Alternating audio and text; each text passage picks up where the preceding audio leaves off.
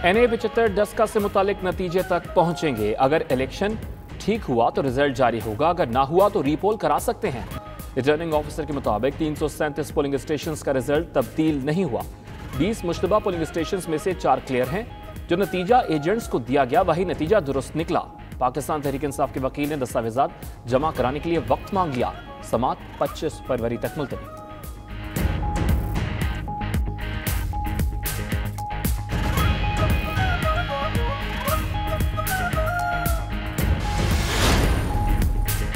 पाकिस्तान तहरीक इंसाफ के उम्मीदवार फैसल वावडा क्लियर करार। सेनेट इलेक्शंस लड़ सकेंगे।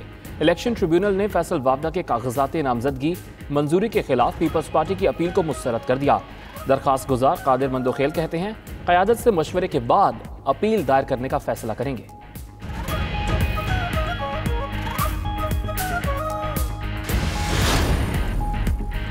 मौजूदा हालात में मुल्क का कोई पुरसान हाल नहीं। हुकूमत खुद इलेक्शन चोरी कर रही है। ऑर्डिनेंस से आइन बदलने की कोशिश हो रही है। आइन बदलना सिर्फ़ पार्लियामान का किरदार है। शाहिद खाकान अब्बासी की मीडिया से गुफ्तगू।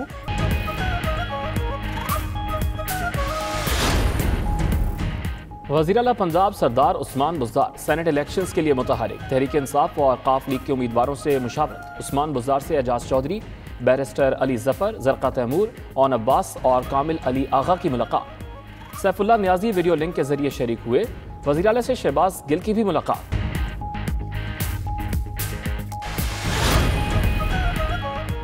वज़ीर आज़म इमरान खान दो रोज़ा दौरे पर श्रीलंका रवाना। शाह महमूद कुरैशी, अब्दुल रसाक दाऊद और जुल्फ बुखारी भी साथ मौजूद। इमरान खान श्रीलंकन हम मनसब समेत आला क्यादत से मुलाकातें करेंगी।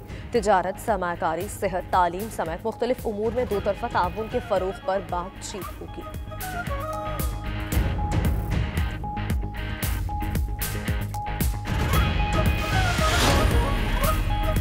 वज़ीर अजम इमरान खान को पाकिस्तान तहरीक इंसाफ के रुकन असम्बली राजा अजहर का खत। आई जी सिंध और चीफ सेक्रेटरी सिंध को फौरी तौर पर तब्दील करने का मुतालबा।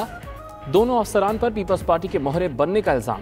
उधर प्रोग्राम सुब सवेरे पाकिस्तान में हलीम आदिल शेख की बेटी आयशा हलीम बोली, वालिद की ज़िंदगी को खतरा है, लेकिन वो डरने वाले नहीं। मामले पर ज्वाइंट इन्वेस्टिगेशन टीम बनाई जाए।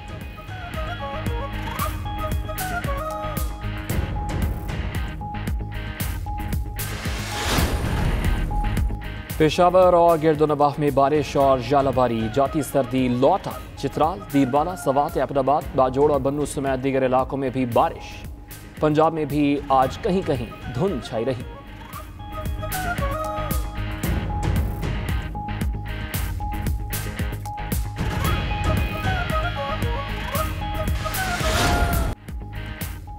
पाकिस्तान सुपर लीग का मेला आज एक और तगड़ा मुकाबला शेड्यूल मुल्तान सुल्तान और पेशावर जलमी का जोड़ शाम सात बजे पड़ेगा। दोनों टीम्स अपने इब्तदाई मैच में नाकाम रहीं। आज फतह का मज़ा चखने के लिए पुरअज़म। गुजशत रोज खेले गए वाहिद मैच में लाहौर कलंदर्स ने कोयटा ग्लैडिएटर्स को शिकस्त देकर मुसलसल दूसरी फतह अपने नाम की।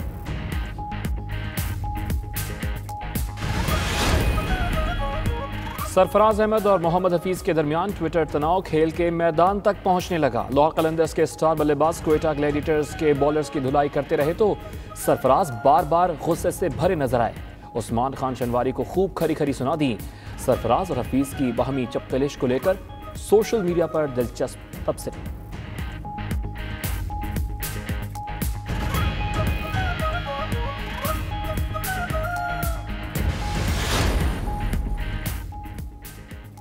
नासा ने खलाई रोबोट की मरीख पर लैंडिंग की हैरत अंगेज वीडियो जारी कर दी। तीन मिनट की वीडियो खलाई जहाज़ पर नस्ब पाँच कैमरों से बनाई गई।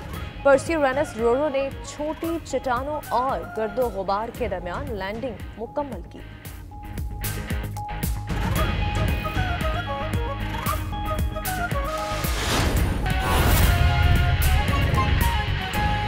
मांग सकते हैं जिसकी आपने दरखास्त की हो। ये नहीं हो सकता कि आज कोई और दरख्वास्त कल कोई दूसरी और तीसरी आपको रिलीफ उसी पे दिया जाएगा। अल्हम्दुलिल्लाह अल्लाह ने बड़ा करम किया है। आ, हमारी हेयरिंग बहुत अच्छी गई। उन्हीं को प्रूव करना है जो कुछ प्रूव करना है आरओ ने अपनी स्टेटमेंट्स दे दी हैं। आरओ के तमाम जो उन्होंने बातें की हैं हमने उससे इतफाक़ किया है हमें उसके ऊपर कोई एतराज़ नहीं है। अल्हम्दुलिल्लाह इलेक्शन बहुत अच्छा हुआ। इमरान खान साहब ये सीट जीते पीटीआई ये सीट जीती। इन बहुत जल्द आपको इसका फैसला नज़र आ जाएगा इन जो एफ़ आई आर की उन्होंने बात की, जो शहादतों की बात की, वो मरियम नवाज़ साहिबा दस दफ़ा टी वी पे आके कह गई, मैं वहाँ पर जाऊँगी, अफसोस कर दें। मरियम साहिबा आज तक गोविंद के गाँव नहीं गई। ये मैं तमाम मीडिया की वसादत से कह रहा हूँ कि हमारे लोग शहीद हुए। इन्होंने जो किया, जो जो फैसलाबाद से गुंडों को लाया गया, जो शेखुपुरा से लाया गया जो लाहौर से लाया गया जो गुल्लू भट्ट तशरीफ़ लाए, उन्होंने जो अमन अमान ख़राब किया, उसके अलावा वहाँ के ऊपर कोई मामला ऐसे नहीं थे जिसके ऊपर कोई तशवीश हो। पुलिस के पास रिकॉर्ड मौजूद हैं। इन्होंने मरियम साहिबा ने जो कहा कि जिन लोगों को आप आज़ाद कर दें, उनके मैंने वहाँ प्रेस कॉन्फ्रेंस में ये मेरे भाई सारे वहाँ पे मेरे साथ थे। मैंने प्रेस कॉन्फ्रेंस में प्रेस को दिए हैं। उनके सारे पिछले कारनामे आठ आठ दस दस उनके ऊपर एफ़ आई आर हैं और वो पेशावर मुझ मुलजम हैं जिनके मरियम साहिबा ने कहा था कि इनको छोड़ दें। थैंक यू आप कुछ ऐड करें देखिए जी नून लीग ने हमेशा की तरह अपना बयानिया तब्दील किया पहले ये तीन पोलिंग स्टेशन तक नून लीग को कोई एतराज़ नहीं था।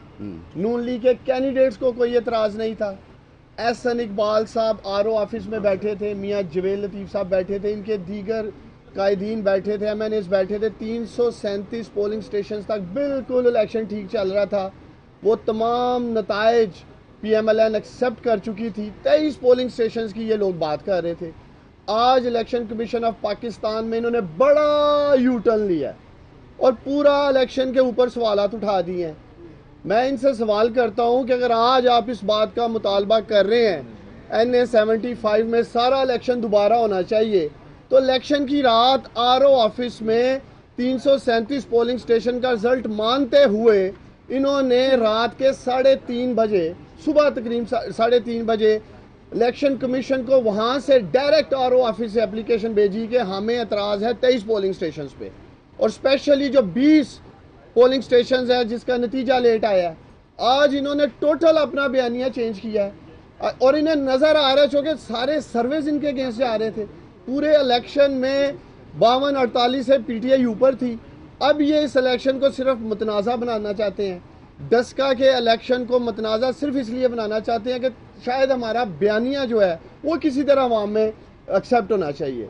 हमें पूरा अतमाद है इलेक्शन कमीशन पे और जो भी इलेक्शन कमीशन फैसला करेगा, उन्होंने हमें कहा है मजीद चीज़ें जमा कराने के लिए हम कराएँगे और इन ताला डस्के के अजीम लोगों ने पाकिस्तान तरीके इंसाफ को वोट दिया है अली असद मली को वोट दिया है और हम इन ताला डस्के के इलेक्शन का जो फैसला किया लोगों ने वहाँ पीटीआई की जीत की शक्ल में उसका पूरा दफ़ा करेंगे इन ताला। अच्छा जी बिस्मिल्लाहिर्रहमानिर्रहीम सबसे पहले तो ये है सब सबसे पहले तो ये है कि जब कल वज़ी अजम साहब ने ये कह दिया कि आपने जो एप्लीकेशन दी है पी एम एल एन ने 20 हल्कों पोलिंग स्टेशन के ऊपर वोटिंग की, उसके ऊपर अली अपनी जो एप्लीकेशन है, वो विड्रॉ कर लें और इसको रजिस्ट ना करें। मैं आपको बता दूँ कि कानूनी तौर के ऊपर इलेक्शन कमीशन जब एक दफ़ा सारा रिज़ल्ट कंपाइल हो जाए, उसको मजाज नहीं है रोकने का।